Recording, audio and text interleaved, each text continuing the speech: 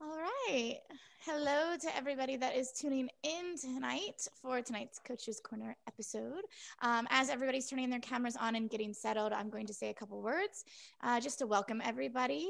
If you have questions, by all means, please ask them. You may post them in the chat box. I will be keeping an eye on them, and everybody will try to get to them tonight. If we cannot, it's just a matter of time. It's not at all personal. So feel free to head on over to the Coach's Corner and they can help you there as well afterwards. I believe that's it for me with all of our housekeeping. So, with that being said, Duke Sean, I'm going to pass this off to you to introduce tonight's episode. All right. All right, good evening, everyone. Thank you again for joining us on the Coach's Corner. We're uh, definitely happy to have you tuning in.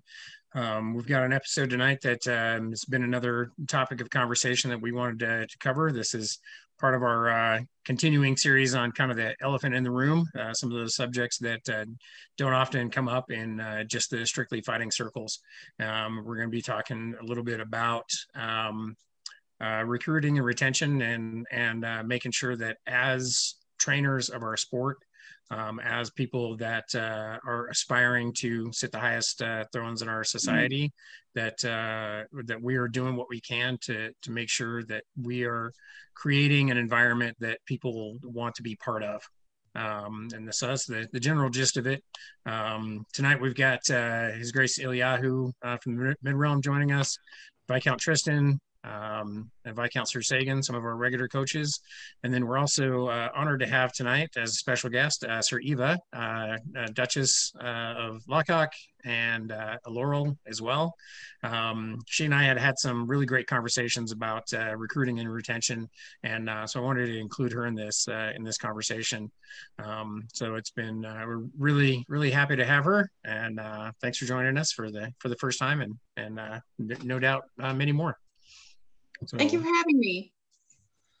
Yeah. Would you like to say a little something about yourself? Uh, if you'd like. So, uh, my name is Sir Eva von Danzig. I'm from the Kingdom of Lochac, uh, which is situated in Australia and New Zealand. I've been fighting for about 16 years, and I got authorized as a 16 year old um, the thing that really attracted me to the society was one the history um, but also the, the culture that the society has created is what kind of i think keeps me involved because we have a sense of you know the, the family that you choose and just the, the valor of combat and the culture that we have is intoxicating when you get into it. So i'm really happy to be able to talk about how we can attract more people to it and hopefully keep them around and uh, spread the joy Okay, so at this point, I'm going to turn over to, to Tristan and uh, let him kind of lead off our discussion a little bit. Cool, thank you. um, one thing you might ask with the subject being uh, how do we recruit more people? How do we retain them once we have them? Why would that be an elephant in the room subject? Like, what's the sensitive part of that discussion? You'd think that that would be something that would you could you could discuss without it be feeling feeling awkward like why why is this what's what are we what minefield are we walking through with it? And and to my mind the, the the minefield is what are we doing wrong? What could we be doing better? It's a personal responsibility factor. And i've been hearing arguments back 50, you know 10 15 years or more of why isn't the sca getting more people? All the way from gas prices are in- increasing and people don't have money to travel to computer games have come out and they've gotten really good and people would rather sit at home doing computer games than be in the SCA. All of these are external influences or excuses that we could use for why we shouldn't be doing a better job of making sure when somebody shows up to the SCA, they are welcomed, they are shown a clear path for, for what the SCA is, how they can participate, and being welcomed in actively, not just a we're here if you want to play, come and involve yourself. But if you don't want to do that, you're basically going to feel like you've kind of had the door slammed in your face. Um, and I'm from a marketing standpoint, I've always believed that the SCA could do a lot better when it comes to how we deal with bringing new people in, how we respond to them when they show up, how we walk them through okay if you're interested in this here's what you can do to get involved. Um, so th- that's that's the reason why it's kind of the elephant in the room is what can we do better? We're never going to deal with fixing gas prices. We're never going to deal with fixing computer games. We're never going to deal with all that. And what Sir Eva said that i really liked about her description was what brought her to the SCA what was the passion? What was what tapped into that passionate side that said this is something i want to be involved with for me it was the fact that the SCA is hands on. I'm not sitting there with a mm-hmm. keyboard and a mouse. I want to get my hands on leather. I want to get my hands on metal. I want to get my hands on you know getting in armor getting sweaty. For that factor alone the SCA will always outcompete a computer game.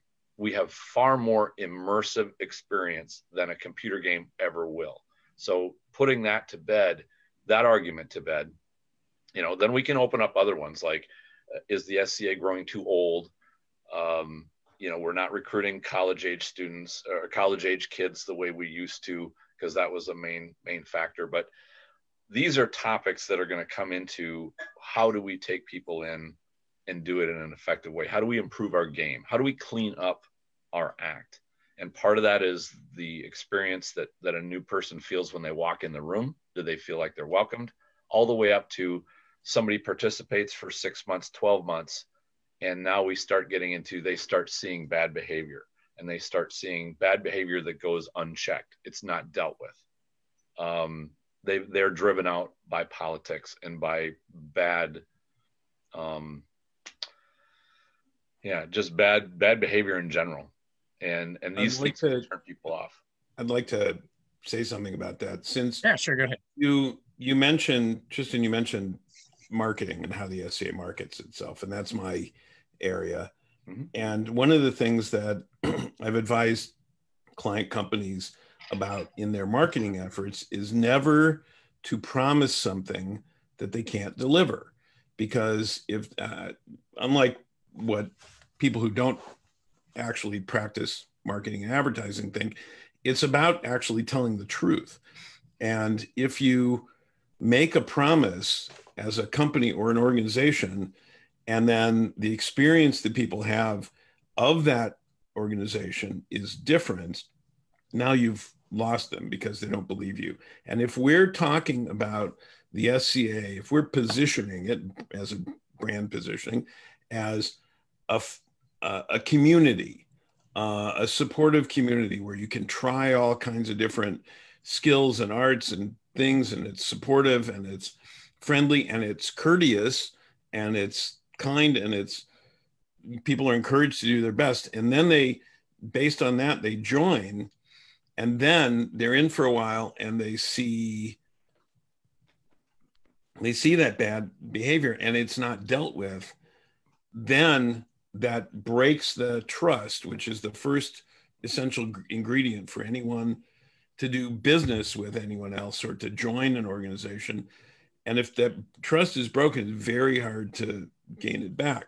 So the tool set that the SCA has had over the years for dealing with fulfilling that promise of of community and supportive and safe for people has has the tool set's grown, but it still needs it needs constant attention from all of us, particularly those of us who, by virtue of the positions we've earned or attained, have some influence on behavior. The question is, how can we how can we clean it up? How can we fix it?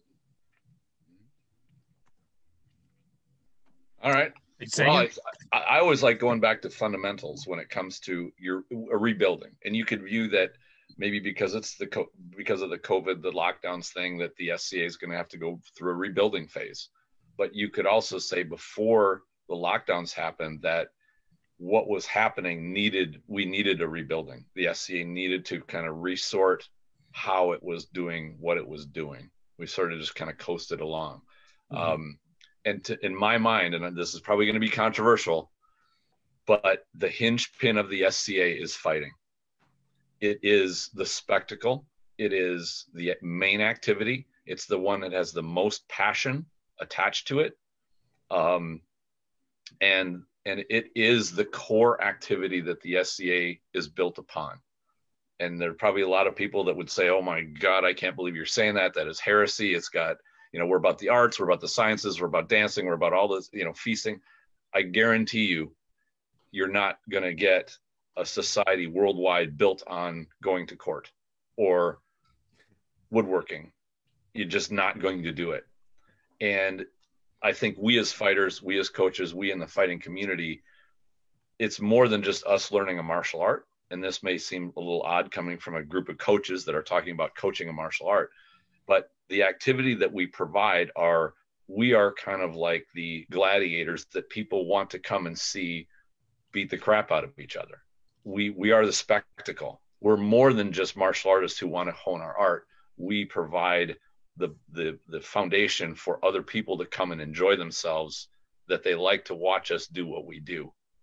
And as soon as we try to for the sake of p- political correctness shove that aside and say no the society is about everything else that has led to kind of a it's just not popular. How many people are going to get in their car and drive eight hours each way to attend an A&S competition? Not many. I mean, I hate to say it, but that it is what it is. But they'll watch idiots beat the shit out of each other. yeah. You know, they like they like that. And we even had I remember at our local practice, we had a huge gym. It was like a basketball court, and we would have fighters show up, maybe a dozen, 15. We'd get 50 people that would show up to fighting practice because they just like to have fighting going on in the background just because it was kind of fun to watch. And they would, it was like bigger than our baronial meeting just because they had that atmosphere of, we've got people that are fighting and, and it's just kind of fun to watch. It's like having a, you know, a, a UFC channel going on in the background. I guess that's why sports bars have got athletic stuff going on on big screen TVs all the time because your eye is just drawn to it. Yeah.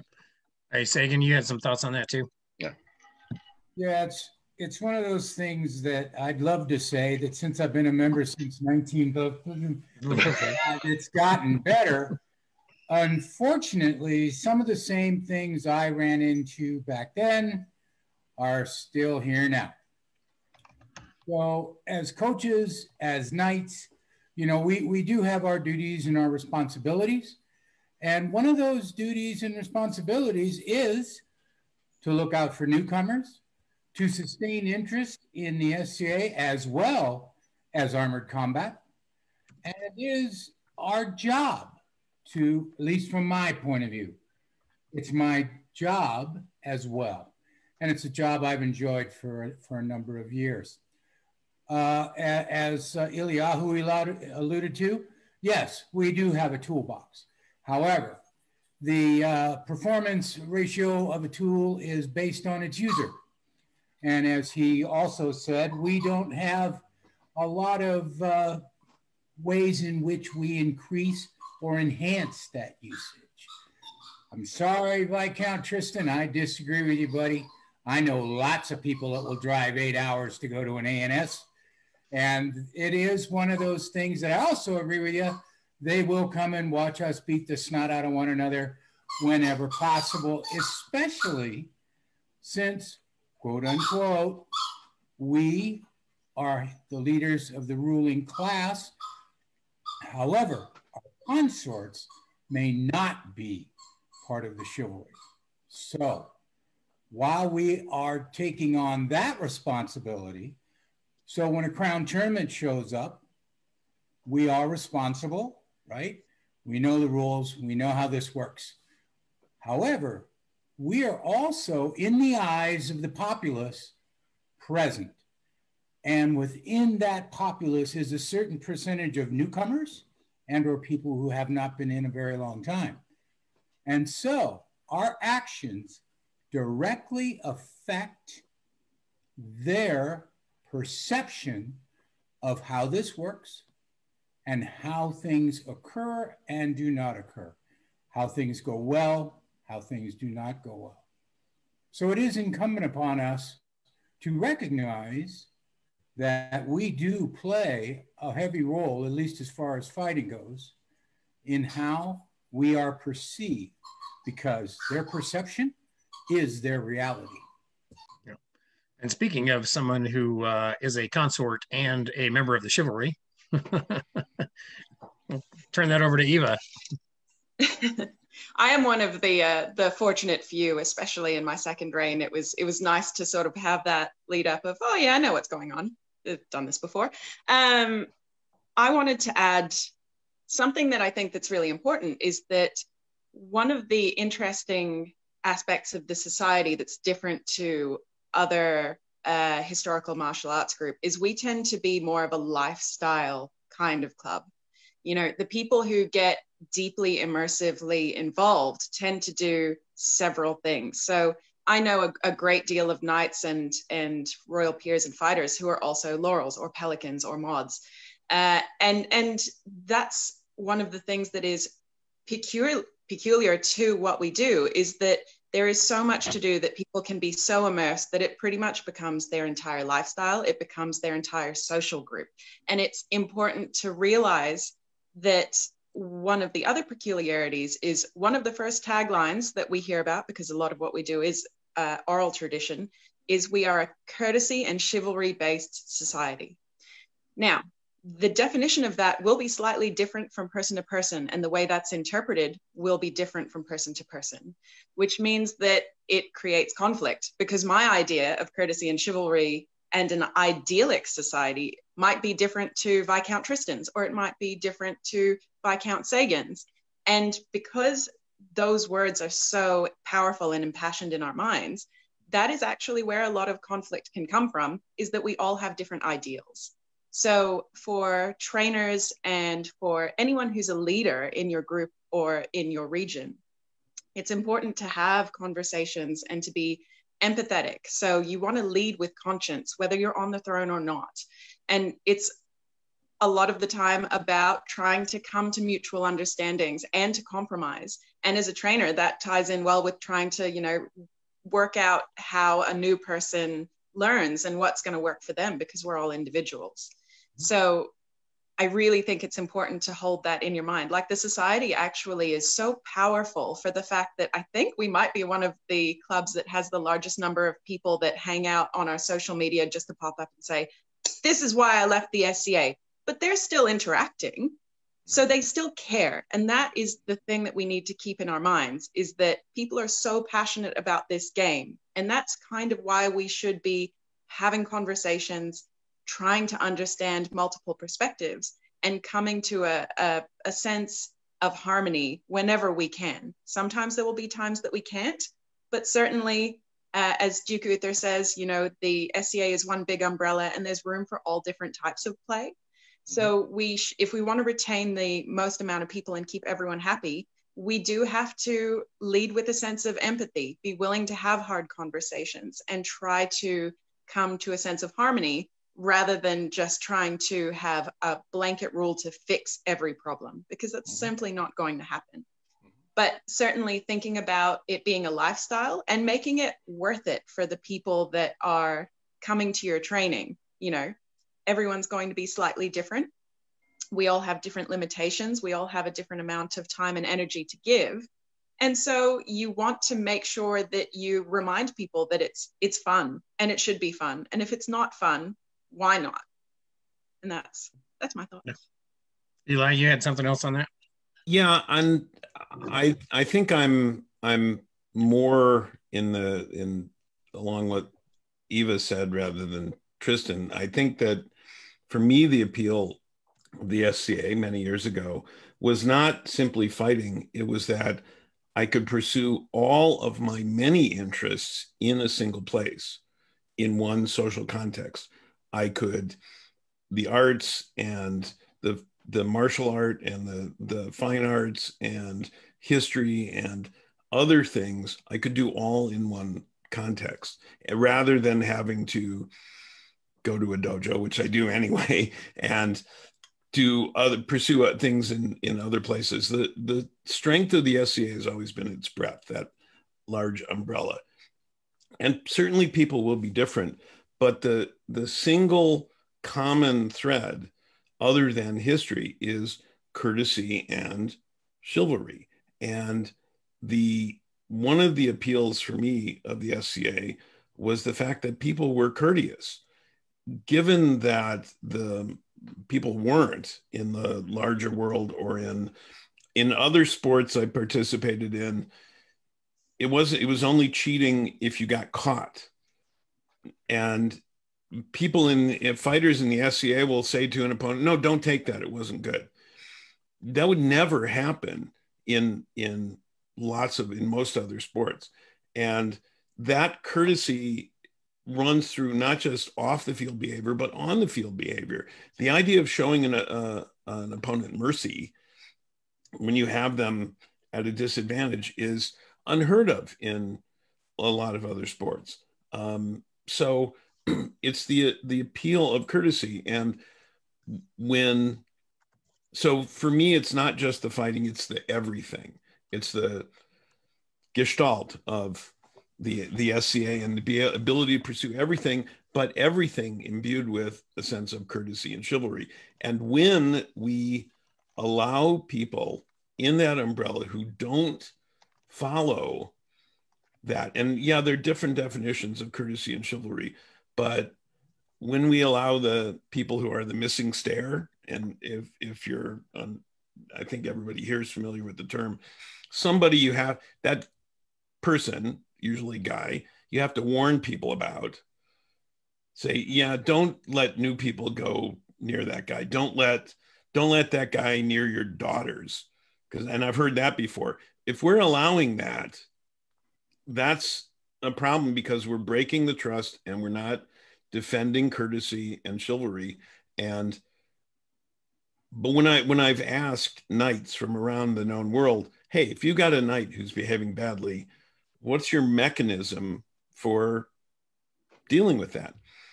And it ranges from nothing to we take them out behind the barn and have some of the bigger knuckle dragging knights talk to him, talk to him, or we have Hope it goes away. Crown, talk to the yeah, crown, or yeah. So, but we have we have we have to defend courtesy and chivalry, mm-hmm. even if people don't define it all the same way. There's there's a sense of being being nice, be good to each other you know, be excellent to each other and party on. Party on, quote yeah. those philosophers, Bill and Ted. Um, so that's what I have to say. All right, Tristan. Um, yeah, and he, he Eliahu touches on a, a future elephant in the room episode that we want to cover, which is policing our own, which is what happens when we run into that overtly bad behavior. And that's a whole nother Pandora's box that we really don't want to get into necessarily here. But I did want to address one thing, and that is when I said that that, that fighting was the hinge pin around the, the SCA activity, I didn't mean that that fighting was the one and only interest that the SCA has. Think about the architecture of the Colosseum in Rome. There was the, the main Colosseum, there was seats for the observers, and around it were all kinds of booths. You can think of it like a modern stadium, merchants, there were vendors, there were people that was they were doing all kinds of activity but it was because the people were drawn to it to watch the spectacle of what was going on in the arena itself. Like that was if you took away the gladiators and the combat and just had merchants and doing their own thing it would just be a shopping mall. It would not have it would not have been built on anything that would have been sustainable. It would have just been another merchant fair. And so the idea that people are drawn to the spectacle was my point that that's the importance of of what we have as fighters and and we can we as martial artists can get drawn into our track of I just want to be a better combatant. I want to learn the art whereas you're not acknowledging the fact that the, your greater role in in burgeoning the SCA in, in boosting up what the SCA is by the fact that you maybe improve your armor, uh, with recruiting when new people show up don't just go get in your armor and go learn the new shot that you want to go train with. Say how can i help this person? Say you, you they want to do this too and how can i help them get into it? Mentor them. Be more than just a combatant. Be a mentor a represent, representative and i agree totally with the courtesy stuff that Eliahu was talking about. Um, it's it's not just about how I can be better. It's about how my fellow new fighters can be better. How can I bring people into this? Be a be a an ambassador of the SCA to to other people. Um, one observation that I uh, that I've made is that the chatelaine is probably the most important officer in the SCA. That's the welcome wagon, and I don't know about how anybody else's group has gone, but in ours, they always choose the the worst person ever to be the chatelaine. it's like the, the like person you described earlier. Like, don't let this person near anybody. Like they're the they're the worst representative ever. And you know, they're some groups have done a great job of getting a, a fantastic yeah. chatelaine that is the perfect first person for them to meet. Yeah. Um, and when that happens, it's great. But I've heard so many people like, yeah, you know, my group is the the, the Chatelaine's the last person they think of of of staffing well, but it's the first person they that should be. You you need to pick an MVP to be your Chatelaine, like you really do. So that's what I wanted to pitch in. And uh, at, at the same time, uh, to your your greater point there, um, the, um, fighting is the is the hook. Um, it's it's what it, it's what grabs people's attention uh, right off the bat to begin with, and once they're kind of hooked by that and they and they see that, the rest of the society, including the arts and sciences, including the archery and everything, that's the glue that holds everything together. There's so much more to go into. Yeah, I mean, fighting is what gets people in, but it's all those other things that that make it worthwhile and make it Absolutely. something that that families want to be part of. Um, and really, it without without an interest in the arts and sciences, I mean, we're we are just another martial art. Mm-hmm. Um, and so, uh, so there's there's that.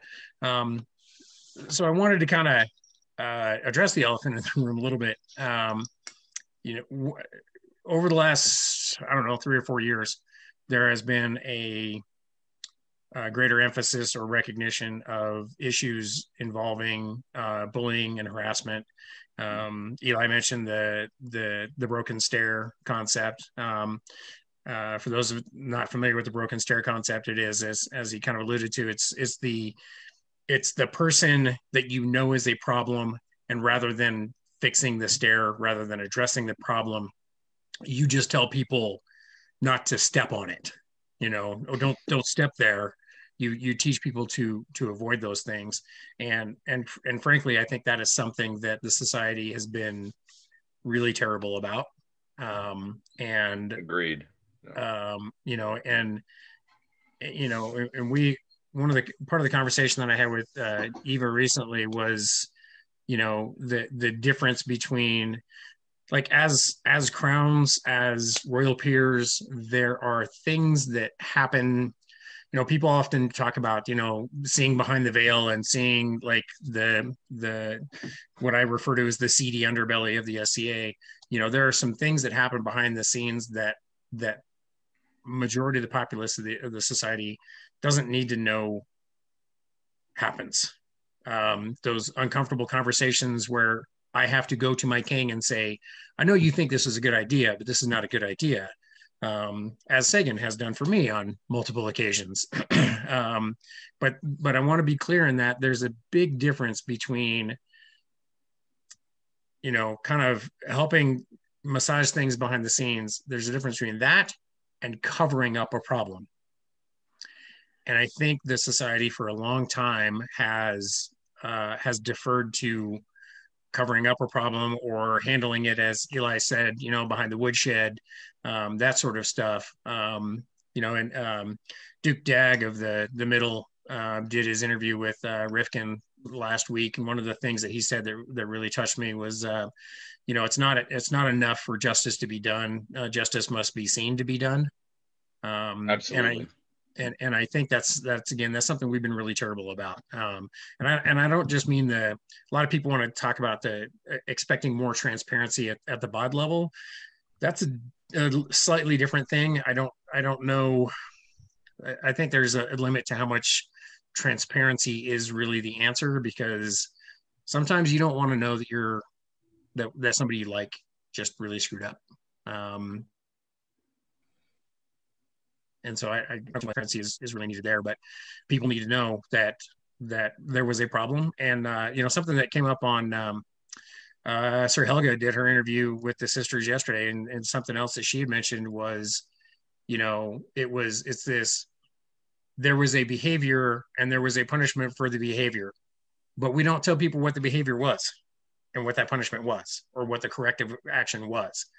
Like, in order for us to understand what is acceptable and not acceptable behavior, like we do have to have a certain level of, of transparency to be able to say that that this was this was a problem. This is how we dealt with this problem. Don't be this problem. Um, don't be that guy, basically. Um, and you know, and that's that's some of the stuff that, that we're talking about is how we can uh, and how how we can be better about that. Um, I know Eli's got something, but I'm gonna I'm gonna hand this over to, to Eva real quick yeah, on that. That's fine. I wanted to jump back in, um, basically because I I wanted to kind of clarify that the reason I bring up the the courtesy and chivalry based society is because I feel like the attempt that we make in the society is to make an idyllic society. We're most people, I think, for the very most part, when you look at our demographic, are trying. And so it hurts more when we fail for people around us. Um, and, and that's the thing. We put the society on the pedestal, so you've got further to fall. So when somebody makes a mistake, uh, and I'm not talking about breaking the law, racism, misogyny, that sort of stuff is is different in my mind. What I'm talking about is somebody gave me mean feedback and now they're awful. And then you have rifts in your group because of a small disagreement, or maybe you don't like a particular choice that somebody makes when they're fighting on the field. You know, I'm, I'm talking about these are things we communicate about. I think uh, I really want to move into talking about recruitment because I actually think that that is a huge problem that we have in the society right now is that we're not the only game in town. As Viscount Tristan said, there are plenty of video games. There are lots of other groups that have come to the fore. And suddenly the society isn't the only place where you can do medieval combat. So um, I would really like to talk a little bit more about that, seeing as there'll be an episode coming up more about how to police our own. Um, but one thing that I, I will continue to say is that when it comes to if you see something awful happening in the society, it's not just the leaders or trainers or knights or royal peers' responsibility to do something about that.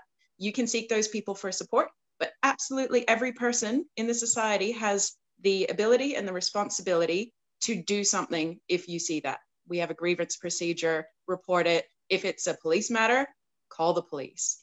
Um, I just want to always put that out there because I think we talk about it a lot from a philosophical standpoint of who should be involved in what we should do. Literally, if you see something that is unjust, you have a means of doing something about that. And I would encourage everyone to feel empowered by that. That's all I got. All right. I think we've got uh, Eli coming up next. Yeah, I completely agree. I completely agree with that. That, and part of what mechanism that used to happen and perhaps still does is that the peers believed that they had a, a, duty to handle all the problems behind the scene so as to protect the populace from knowing about them so the populace could simply enjoy the society and what they're doing. And that's contrary to the idea of justice being seen to be done. And so those two kind of work at odds and it it infantilizes the populace to think that they can't handle knowing about something. There is there is no uh, if if this were a class I'd say we don't have a rubric. We don't have saying here's here's what you should do, here's what you what you'll lose points for. We just have courtesy and chivalry. Um, so I think that the idea that everybody has a an obligation, no matter their rank in the society, to say something is absolutely true. I, I completely agree with that. If it if the chain if the reporting goes to the police, that's one thing. If it goes up through people in the society and there's a uh, any of those steps fall down or try to hide it or try to dismiss it, then it's a problem, and then we're we have a problem. and there's another point about recruiting, which I'll segue into, is that we used to group I started in, we had our fighting practices um, on or near a college campus so that students walking by could see what we were doing, see the fighting, which was noisy and flashy and would attract them, but also see people there doing other um, arts. And that's how we that's how we recruited people. That hasn't happened that way in a long time. There were other places with better weather that would have practices in parks, um, and they would recruit people that way. Uh, I don't know what the status of that is. So I think making practices visible to people is one of the things that is an outreach to people that can make a difference. Say again. Well, you know, we've covered quite a bit. Uh, I want to thank my sister. I really did want to segue into the recruitment and retainment aspect of this myself as far as being a trainer. Um, it is one of those things that making yourself available, right?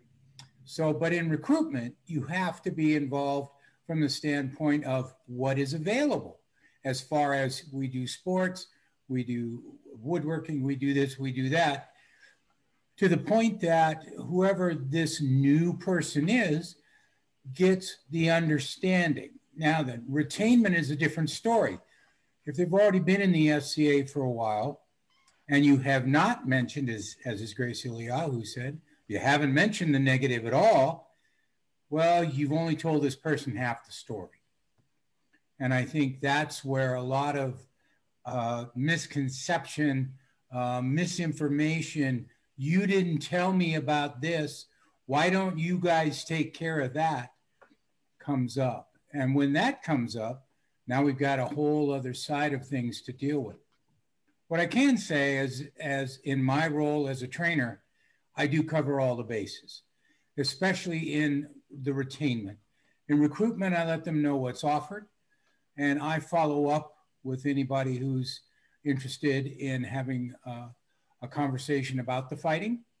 Uh, needless to say, I don't go heavily into the negative side of it at first, but I do cover it a little bit. And I think for me, at least, that's where at the end of the day, I can look at myself and say, okay, you did the best you could given, given the situation. And one of the things I've always told my household is that if you keep everyone's good time in the palm of your hands, and I mean everyone, it'll be hard for you to go wrong. You will make mistakes. It'll be hard for you to go wrong. All right. All right, Eva, let's jump right into it. Awesome. Cool. Um, so recruitment it's interesting uh, coming from Lochac because we do still have a couple of active colleges. So the recruitment and uh, trainings on some college campuses is still a pull here. Um, but one of the things that I think is really important is getting the SCA out there and showing what we do well. Um, so you know, I think most groups have some sort of demonstration or demo fights that you'll do at different events. Every group is different, but I think everyone knows of uh, an example in your local region. One of the really important things is to think about how you present the society at that point. And you should always try to be as approachable as possible. So, part of that will be uh, when people come to talk to you, make sure that you're available. If you see people that are looking kind of interested and they want to ask questions, talk to those people. You know, um, encourage the people, let people know before the demo as well. You're expected to talk. Don't just come to fight and then go off to the side and and you know hang out with your buddies because you want to look approachable. I know, uh, like early on, at least in my group, I started at a time when the group of, of heavy combatants didn't particularly look approachable. We had quite a few people come later when we had some some younger, smaller fighters that went, oh, we thought that that was like a biker game meetup or something because the guys just didn't look approachable. And you know, part of that will be your your stature, but there's always, you know, you want to break that kind of vision of yourself by going and, and talking to people who look like they're interested and pitching what we do. um, there are some simple tricks as well that can make that really useful, which is even just trying to remember somebody's name. Because if you can go, oh, hey, what's your name? Oh, it's Sean. Cool. Well, this is what we do. Here's some arts and sciences stuff. You know, these people do this. We have this. All right, Sean, I'll see you at the next training. And that sticks with people. It's it's like making it personable. And that communication is really key because what we want for people to do as soon as possible is to experience the fun of the SCA. So you want them to think, oh, I can do this. Part of that as well is, you know, I, I'm a big believer in wear your best to a demo, bring your banners, wear your amazing surcoat and your best armor. But one of the things that we found is it's actually really useful to have a couple of your newer, probably scrubbier looking fighters out there as well, because you want people to look at it and go, I can do that you know, if you have everyone on the field looks like they're in their best battle of 30 kit, some people will be scared away by that. So make sure that, you know, you get as many fighters together for your demonstrations as you can. Uh, and also, you know, some other artisans and, and people who just want to come along and be social and pitch the SCA. But the fun should be at the forefront of what you're pitching to them. That's really good. Some really good points. You know, when we were when we used to do demos, I remember we had some some that had some problems because we would get people out there and pick a bucket armor and people would look like what what is this you know and then of course as armor evolved and we started kind of choosing all right who do we want to have go to these demos we had a chatelaine that was pretty with it and said, okay, let's put our better foot forward rather than showing a bunch of people that look like they're like a Mad Max extra reject eh, going out and, and doing the fighting part. And I, I agree with you. I think that it can be intimidating to see somebody in really expensive, nice armor and go, I could never get something like that together. I think the visual is important. But what's even more important is the is the spirit and the heart behind that first contact. When somebody says wow this looks really impressive and you say you know what? You can do this. I've done it. You can do it. I can show you how to do this. It's not as it's not there's not as many uh, as many obstacles as you think there are to be able to do what we're doing. In fact let me show you how to take the first step. It's it's not so much what you show them in terms of the visual because the visual is important. It's the it's the one thing that you see a couple people fighting across the park you're like what are those people doing? And you're drawn to that part. But it's the it's the intention behind what that person what happens when that person walks up and goes what are you guys doing? And if there was one big improvement that i could i could say that will make the, that huge difference is what your attitude is when a new person shows up and there's there's a story from one, a Pennsic long time ago. I think it was like Pennsic 19 or 20, and I had a friend of mine that came out for it, and he did a came out early and he participated in some uh, Civil War reenactment stuff before he came to Pennsic. And I said, well, I asked him when he got there, like, well, how, how did this go? What, what was it? What was Civil War reenactors like? And he, and he said, you know, it's a lot of older people that, that have been in there, that, that group forever. And they're just like, Nazis. They're so picky. Everybody's got to do everything perfectly or it's not good enough. And what happened was you'd get young, new, interested, engaged people that were curious and thought, hey, this could be pretty cool. And then you make the initial bar up for their participation so high to get acceptance by the people that have done it for a long time that they just say, you know what? Screw this. I don't care about my buttons. I just want to dress in an outfit and go ahead and have a good time. And you guys don't want to do that. So basically, within that community, they were having, they were getting to that catch 22 point of they didn't get enough new people in. They would repel new people because of their attitude. And then their numbers were shrinking because they're getting old and dying. And the whole course of that group was headed to oblivion. And the only way to do that is eh, to overcome it is to say, all right, we're going to accept that new people are going to come in. We want their passion. That's what you're looking for is their passion, not how good they can do coming out of the gate.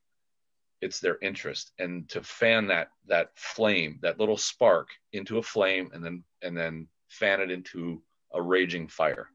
Um, so That's what I've got. So we're going to go on to what? Uh, Eli? Eli? You're muted. There we go. Thank you. Every time, right? Okay. Um, so a couple of things.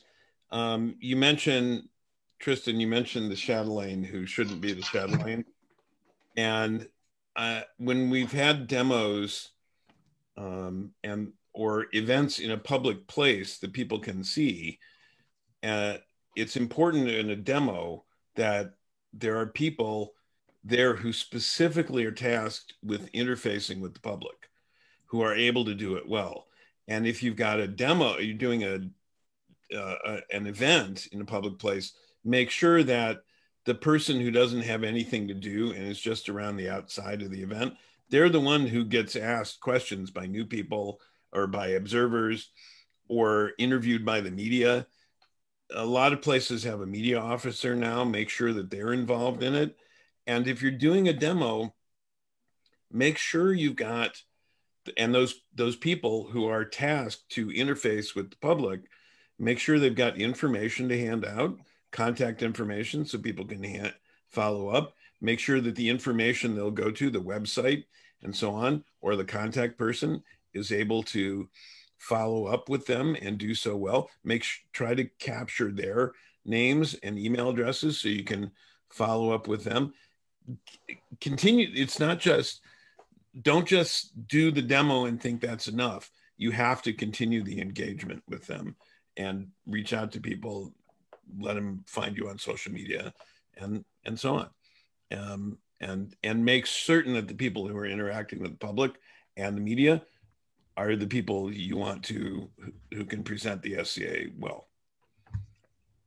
Say again. Yeah, one of the things I've noticed over the years, because uh, we do uh, quite a few of our practices in public parks. And obviously, we have people, they'll come up and they'll stay at a distance, is to, you know, allow them to watch for a while, but then approach them. Don't, don't, don't wait for them to approach you and just open the conversation with something with, Hi, do you have any questions? And invariably, they're going to say, What is this or who are you? And then that will lead you, you know, to the opportunity to converse with them about the SCA uh, one of the other things is that, and especially at demos, is that uh, make sure, you, like you're saying, you want to put your best foot forward. So you go over some uh, rules of etiquette, you know, things like courtesy, language. You know, you're trying to, you, you are at a demo putting the best foot forward for the SCA. So you want to give it its best, best chance of success. Yeah. Um, one of the things that Tristan mentioned um, about, um, you know, the, the, the entry fee uh, for getting, getting started in the SCA. I think one of the things that I've always appreciated about our organization and, something that I think we need to continue to encourage is, um, you know, when I first got started, there was the uh, pamphlet that came in, in, with your membership card that said, uh, that that what we expect is a reasonable attempt at pre 17th century garb, right? Um, we just want you to try. We want you. We want you to have some some sort of effort, you know. And T tunics and a pair of sweatpants, um, that's fine, you know. And you know, I, I I've said for a long time that that in a lot of ways the SCA is kind of a victim of its own success, where we have, you know, where it, it is it is easier to to be more period faster now than it was you know even 20 years ago.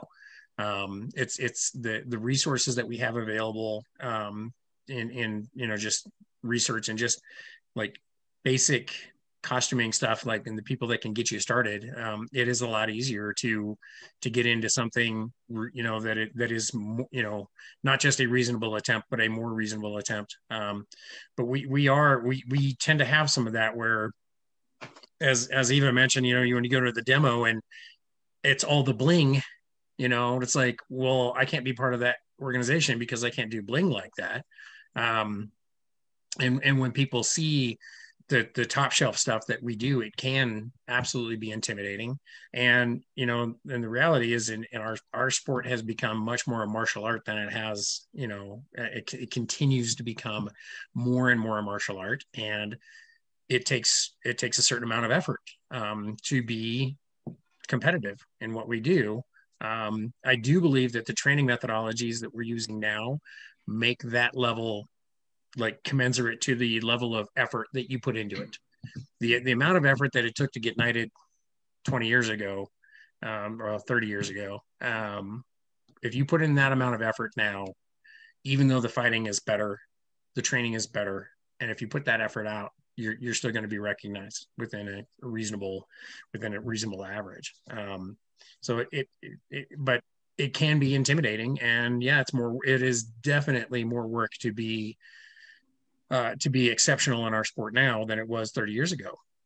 Um, you know, but the, the training is better too. So we need to maintain like a lot of work 30 years ago. I mean, I thought it was a lot of work too, um, and it's and it still is. But you know, you can you can be good. Yep. Like it's it's all a matter how much effort you put into it. But I think we just need to remember to maintain that thing where a reasonable effort that's all we're asking. And and you know to to see somebody, you know, when you see somebody in that pickle barrel armor um, at their first practice, you say, hey, "That's a really great job on the armor there. Let me help you get a tunic to just cover that up." You know, because you can cover up nasty looking armor, and then all of a sudden somebody is part of the part of the game. So we're gonna we're gonna move on to this with um, we're gonna pass this back to Eva to talk a little bit about uh, a little bit more about retention. Uh, so I should clarify as well that the the group that I'm in is kind of remote. Um, so for us, trying to to build and maintain the community is is a lot of what we end up thinking about. Uh, my partner Duke Felix Arnett is probably more the coach and the driver in our local group, um, but we work together to try and maintain a healthy community. And I think that that once you get the potential newbies in, trying to build that sense of community, it's what is going to keep people around. Because again, the strength of the SCA is that we have that greater, wider community feel. Um, people, again, make it their entire lifestyle, but it's also important to recognize that not everybody is going to feel that way. And that's okay because numbers breed numbers, which is why I wanted to talk a little bit about thinking about assessing your your new folks and not necessarily trying to force them into the the mold that we think of as the idyllic SCA player, who is somebody who, quite honestly, is like for me, I'm like I want them to be as immersed as possible. I want them to, you know, not only fight but to do all sorts of other things. That would be great if we all had it as our lifestyle. But not everybody's going to have that, but we still want those people out on the field with us because that's going to provide us with greater opportunities for training and greater opportunities for fighting and fun. Because again, it should be fun. And if they're not enjoying it, there's something wrong. Um, so for us, part of building that sense of community is giving our newer players a sense of the broader SCA. So, because for reference, I live in Adelaide, South Australia, our closest other SCA group is an eight hour drive to Melbourne. Our biggest uh, Kingdom event is a 14 hour drive away. Um, so, one of the things that will happen is that we end up with new people coming into our group and they only get to see things on a baronial level. They don't get a sense for the greater SCA. And I think that that's really where the greater hook is, is when you get to go to a war and you get to fight and meet new other people and see that what we do is actually huge. We're not a cult. It's not just 20 people in the park. We're literally an international organization. And the more people get uh, to see that and experience that, the more exciting it becomes. Another part of that as well is if you're also someone from a, a segregated or remote group, is that not every trainer is going to necessarily mesh with you. And so we always encourage our new people to travel as much as possible, meet other knights, get a sense for what the SCA really is before they get tied in with a particular household. Because maybe the the you know kung fu that we're selling doesn't mesh with them the way somebody else's will. And that's okay. And that diversity is actually really healthy because you want to be, you want to gain more from having multiple insights. So travel and experiencing the broader SCA as soon as possible is really awesome. That means that you might need to keep a couple of spare seats in your car as a as a leader in your group, just so you can take new people to a war. You know, it'll it'll be a case of make room so that you can help people get that experience, and then once they grow up a little bit, they'll be able to do that for other people, hopefully.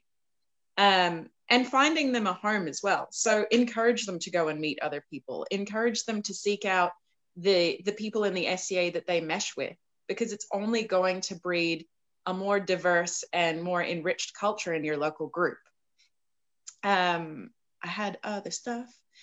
Um, and, and sometimes I'm bringing this back to before where I talked about the umbrella. Some people will play slightly differently to you. That's okay. You know, I tend to look at uh, what Felix and I have built. We do 14th, 15th, and 16th century stuff.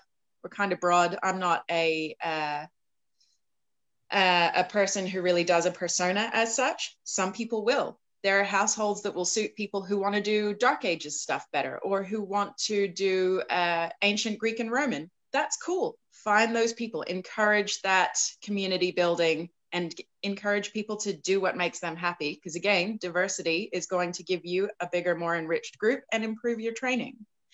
And uh, the last thing that I wanted to touch on is that you want to treat each new person as an individual.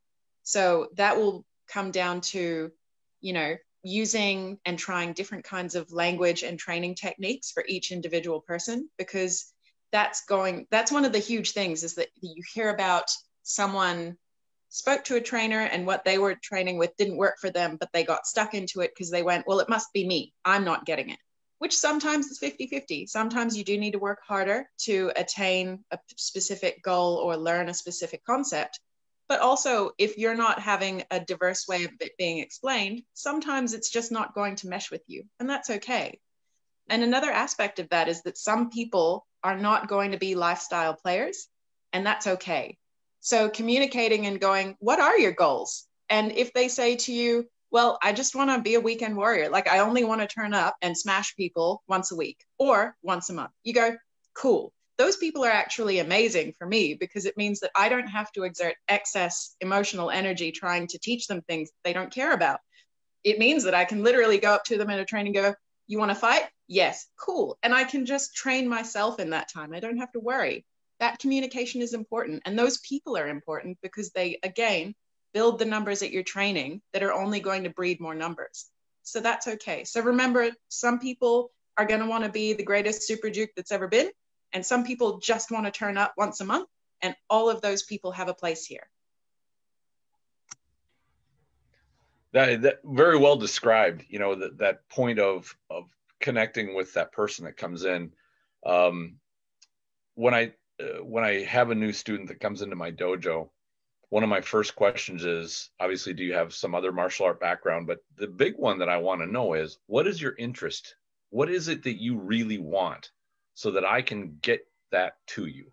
Because people come in with different interests. Some say i want to learn some self-defense. Others say i want to really get into you know aikido the art. I, I like the spiritual side. I like the philosophical.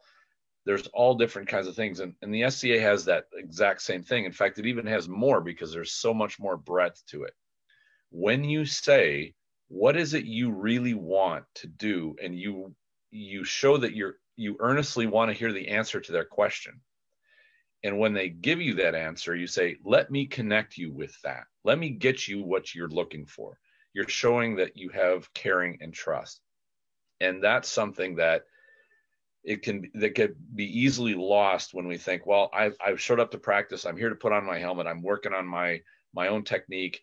And i now have this new person in front of me that either came in or or or got brought to the demo and i'm thinking well is this person going to be serious are they going to you look at it in the wrong way as long as you focus your intention on saying this is a great thing that i've found let me tell you how awesome this is or how, how much I enjoy it. If this is something that you're interested in, what part interests you and let me get you connected with that. If I can't provide it to you, I'm going to find the person that can and I'm going to I'm going to put you right there to talk to that person that's going to get you what you want out of this. The the part of that relationship that's important is the caring. That when somebody new shows up, the first person they talk to is earnestly interested in what they have to say and wants to get them what it is that they want in the in as short amount of time as possible. Um, and, and unfortunately, I've seen a fair bit of disregard shown to new people that come in. A lot like the the Civil War reenactors, like what has this person got to offer us? You know, what what are they going to add to the group? But another new person, I gotta I gotta bend over backwards for and walk through, you know, go through nursery school with them. Like that's the wrong attitude. And I think that this is something that we can clean up generally. Not everybody does this, but there's enough.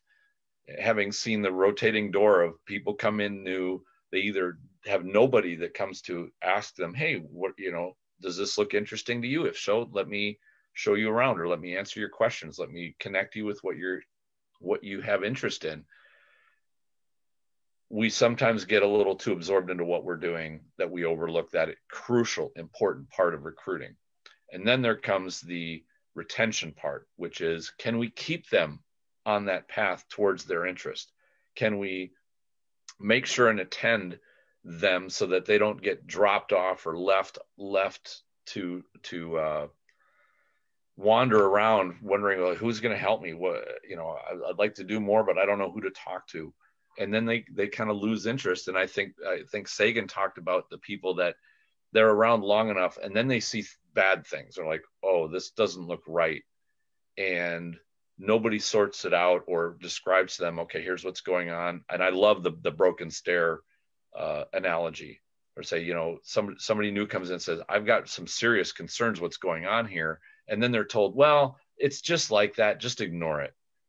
And so i think there's multiple layers of how we can deal with the retention issue but it starts at the lowest level and then goes up to how do we deal with the I, will call them atrocities because they certainly get into that category, and I'm, I feel strongly about that one as well. And I and I think that the transparency when it comes to justice is very important.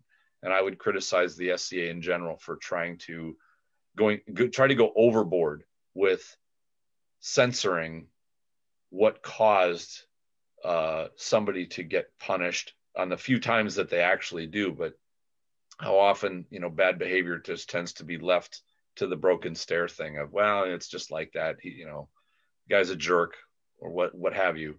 Uh, I think we could clean up that as well. And I prefer honesty, but that's just my personality. I like honesty. I like transparency. I, from a personal standpoint, I like it, just saying I made a mistake. I'm willing to own it. Let's just use personal responsibility as our as the solution to this, not trying to, you know, cover anything up or uh, or try to make it seem like what is a problem is not. Because I assure you, people will see it. And if you view new people coming in as, children, don't ever underestimate their ability to observe and see what's going wrong. Don't think they don't know it you're actually insulting that person's intelligence by saying, "Oh, I'm experienced. I can see this is bad, but you won't." Like that's absolutely the wrong way to go about it. Um, you know, assume that they're observant people, and I, unfortunately, I've known way too many people that have come in interested, passionate. They like what what the SCA is doing, and they run across some of those bad actors, and they say, "You know what? I'm just I'm not down with this, and I'm I'm leaving." And and that's part of what makes this the elephant in the room is all right we need to change something we need to change how we deal with this and it doesn't mean that you need to be a kingdom officer or a crown or any any you know on the board of directors in order to say we've got to call this and we've got to do something about it um, and i think that that is a retention issue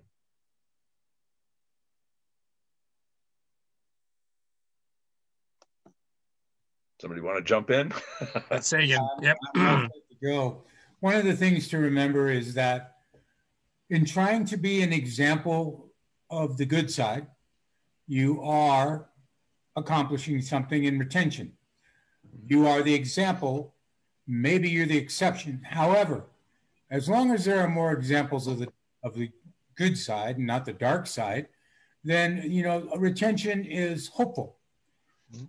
um, as a part of that, though, you know, you do have to always, at least from my point of view, in my humble opinion, you, you know, you're open, you're honest, you're understanding. You encourage questions and conversations about anything.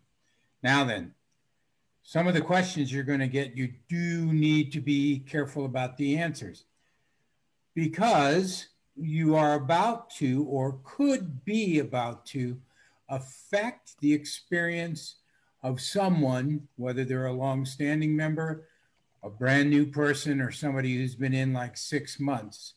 So you need to be compassionate in a way.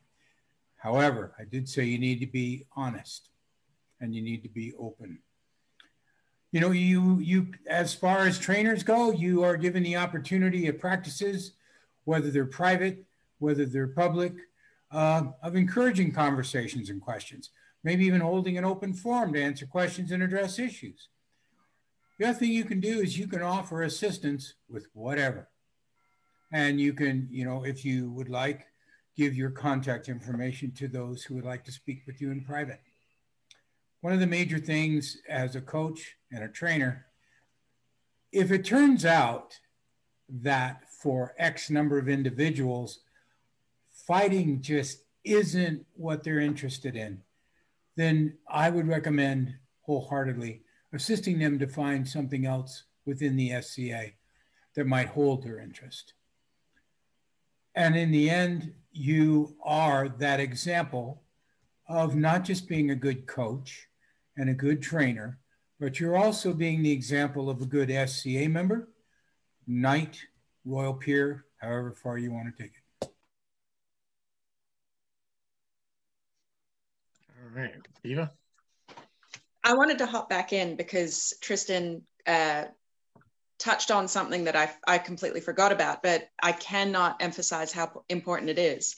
And it's uh, so Felix had actually taught all of our squires who were starting to go through the basics with new guys. It, the question is, what is the most important first lesson you can teach anybody on their first day? Even if you don't hit your basic shots, the most important lesson is that somebody cares about them, that somebody actually gives a shit that they're there and we're there to help them. So, you know, amongst all the other, you know, issues that we're talking about, even if they only learn that somebody cares that they attended and is trying to help them get into our sport, that's really the most important thing you can do for anyone on their first day. Um, and then if they experience other issues, part of that as well is that they know that you're there for support. So, you know, if somebody turns up, make sure that they know that you're interested in them getting involved in our sport. Everything else on top of that will will come naturally as they form a bond with you and form that community. Well said.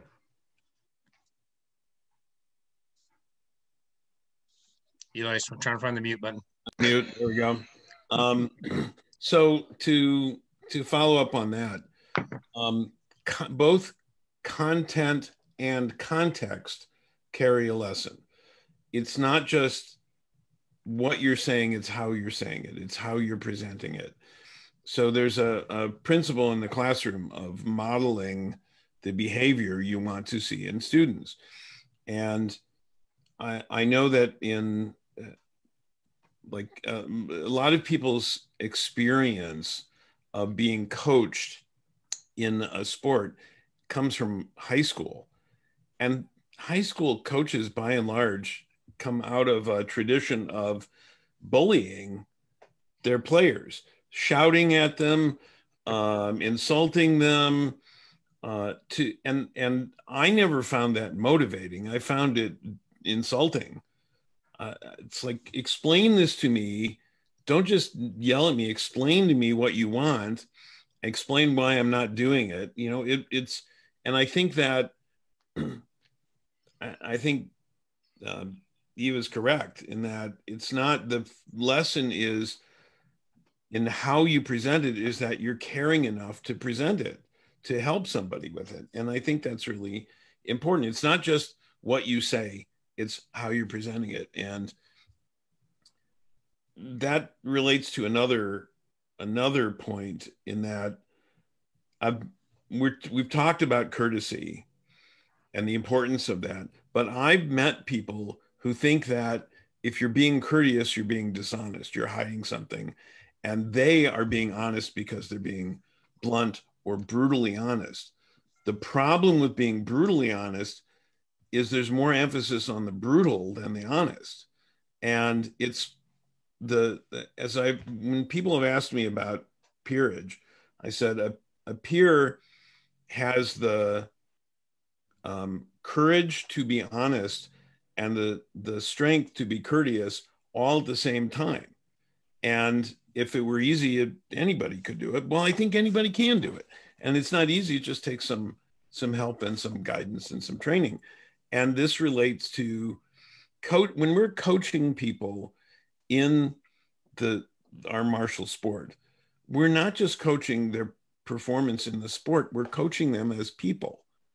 And if we lose sight of that and just focus on the mechanics of what they're doing, we're losing, we're giving them the content, but we're not giving them the context and we're losing something. Yeah, and I, I think to that point too, um, if we if we and and and honestly, this is something more than many lessons that I got from Sagan over the years is, you know, there's as a trainer, you know, great power with great power comes great responsibility, and if I'm going to give you a certain set of tools for you to to uh, effectively end up in one of the most powerful positions in our sport, um, that comes with a certain responsibility. And if we don't give you the tools to to you know be able to deal with people um you know magnanimously um you know then then we have failed the organization for sure because then you end up with just all the power and none of the responsibility. And that typically ends up in you know some of these issues that we're that we're talking about where people just kind of get on that power trip once they sit on the thrones and they think that that's that that's the end all be all and and that they are you know all powerful and all knowing. And um having uh, you know all of us having sat the thrones in some capacity or another we know uh power in this organization is fleeting at best and uh, is grossly overrated. Um but there there are some people that that get it in their head that that that's going to be that's going to be their power trip. And, and, like we have an obligation to kind of kind of curtail that a, a, little bit. So um so we're we're uh about to wrap up here. So just kind of wanted to pass over to uh, uh tristan. Any, any final thoughts for you on that um yeah i think we've covered some good ground here you know obviously with the with the the virus and the lockdowns and stuff this is something that's probably not very pressing i don't think anybody's doing demos right now a lot of practices are shut down. I, I think that this is a time when we can look at our plan for what happens when things start getting back to normal. How can we change? Use this break to take a breath and relook at how we look at recruiting, how we look at retention. Examine what we're doing. There's always a time to to revisit how we've done things and say what have we done well? What have we done not so well? And what could we improve on to bring those things that we're not doing well up to a good quality level? We can always be improving. And i think the sca like you said earlier was a victim of its own success when you grow to a certain point you can't it's easy to take for granted well we've got a lot of people we're doing really well. We don't need to worry about recruiting so much. We don't need to re- re- worry about retention so much. It's it's an ongoing process because the world changes. The things that affect people change. When computer games came in, you know that was a change, and and to not uh, this is a big thing for me personally is how you let your mind affect uh, how you act if you think that an excuse like gas prices were too high or computer games are taking away people, your mind will just go, I don't need to do anything better. It's something else. It's not my problem. But that will always hamper you. That will always get in your way. Your own mind will be your the, the greatest prison that you will have to escape at some point. And so if but if we look at it as the no computer game can do what the SCA can do. Flat out like no no computer game offers that kind of immersion that kind of social bonding the caring part and just the caring. And I, I loved how much we talked about that of when somebody new shows up if they get the i care that you're here. I'm glad that you're here. Let me help you. No computer game will do that. None we need to acknowledge that acknowledge how we are different and really work that strength with with people. But it has to come from ourselves from the caring that we like to have other people come into our group and to put aside you know the, the all right well what am i here to do for myself? It's what you're here to do for yourself plus what you can bring other people into your sport with. And i, I assure you my dojo is the exact same way. Every one of my students cares about how other students are learning as much as they care about how they are learning and without that culture I would be churning people through and they'd come in and quit in very short order because I've seen that happen with dojos and the SCA is the exact same way. So that's what I would have as a conclusion is it's all built on on that heart of, you know, caring for other people as much as you care or more than you care for your own advancement. Eli?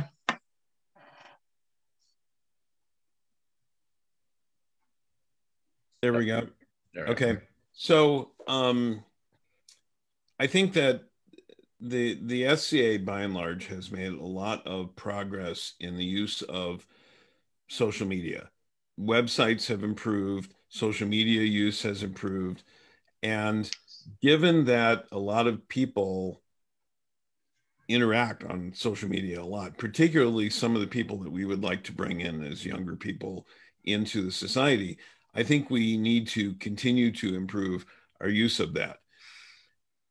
Um, the consistency of messaging um, in all its different iterations is important, whether it's social media or printed material or personal interactions, because particularly personal interactions, which you've talked about, because all the best information, all the best communication, all the best messaging can be stymied by a new person's interaction with a single person whose messaging is off or whose behavior is off or who doesn't demonstrate that community and that caring and that that personal interaction. So i think that in the same way that we are uh, doing the coaches corner where we're talking to people about how to improve but we also talk to people about how to be better coaches it would be worthwhile if we did a coaches coach of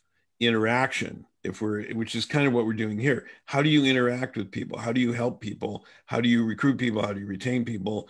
Training the uh, train the trainer for how to do that. Uh, and people who interact not just with new people but everybody in the society and coming back to the idea of chivalry and courtesy throughout the society and throughout all our interactions all right, Sagan. One of the things we all share is that at one point, we were all coming to the SCA for the first time. So we've all been there. So we have somewhat of an understanding of what that experience was like for us, however long ago that was. We also now, as knights, we have asked others to enter into partnerships with us and we guard those partnerships. We are open, we're honest, we're respectful, we're dutiful in those relationships, as well as asking newcomers and or people who are not sure they want to hang around any longer to partner with us as well in whatever capacity that is. Maybe it's just somebody they they know that you're open and honest to a discussion or, or a question and that you are there for them.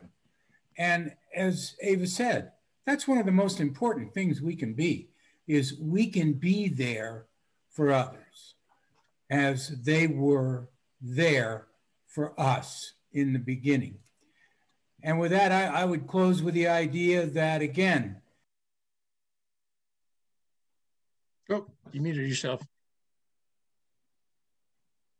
We are the ones who have an opportunity to be the best example we can. All right, Eva. Yep, I'm gonna keep it short and sweet. I can imagine that if people are watching this, it's because that they either are or aspire to be leaders in their group as coaches. So I always say that you should lead with conscience, empathy, and humility. Put yourself in the newbie's shoes or in your student's shoes.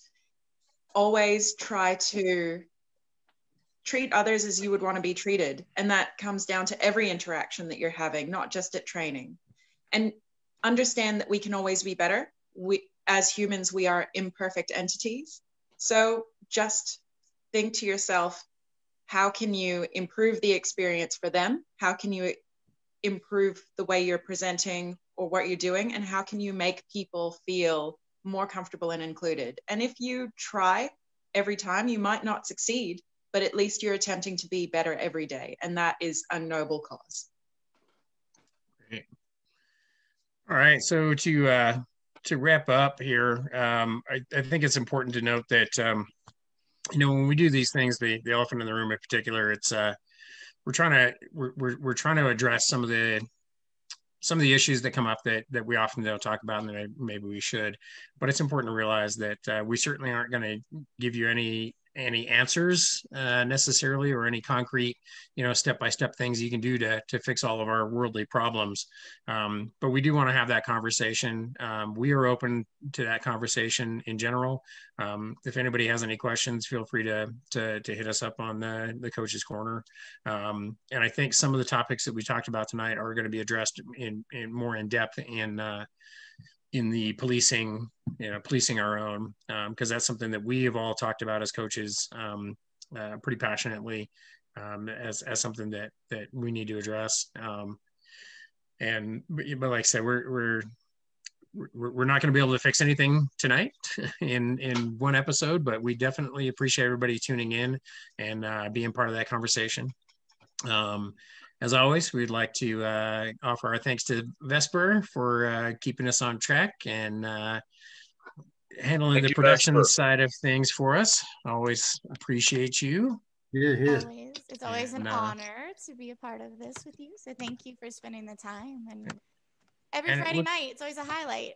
Yeah, it is for me. Even when I'm not on the show, or you know, of course, if I'm not on the show, then I'm like frantically commenting on the on the live feed, going, "That's what I was gonna say." He's trolling us. oh, I was trolling him. I'm like, see, just like I said. Um, so next week on the coaches corner, we have uh, ideas for uh, indoor ideas for practice um, as we're getting into winter time and a lot of a lot of folks uh, except uh, Eva's getting into springtime, I suppose, or into summer. You're coming into summer there, so doesn't apply to yeah, her as much. we will, um, yeah, we'll be so talking I, about some things that you can do. We all move there so we can enjoy summer and and practice outside. Sounds like a good idea to me. Uh, so we'll be dealing with that. Um, but uh, always want to thank the thank our other coaches, Eli, Tristan, Sagan, and especially uh, Your Grace, Sir Eva. Thank you so much for joining us.